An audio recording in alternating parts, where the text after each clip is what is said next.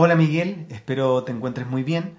Te voy a contar un par de informaciones que me parecen muy relevantes desde la medición que hacemos en Cantar eh, y están asociadas a estas compras en plena cuarentena.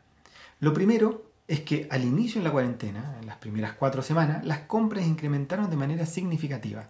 En un 20% crecieron las compras de consumo masivo en esa temporada, obviamente asociado a esas grandes compras que hacían los hogares.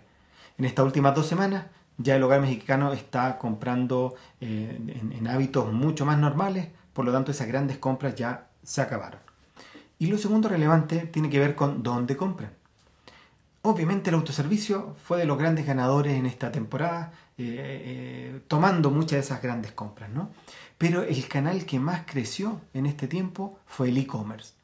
Los hogares compradores en e-commerce se multiplicaron por 5 creció un 500% la cantidad de hogares compradores en esta plataforma. Claramente esto va a marcar una tendencia a futuro y después de la cuarentena seguramente seguirá siendo un canal absolutamente relevante para los hogares mexicanos.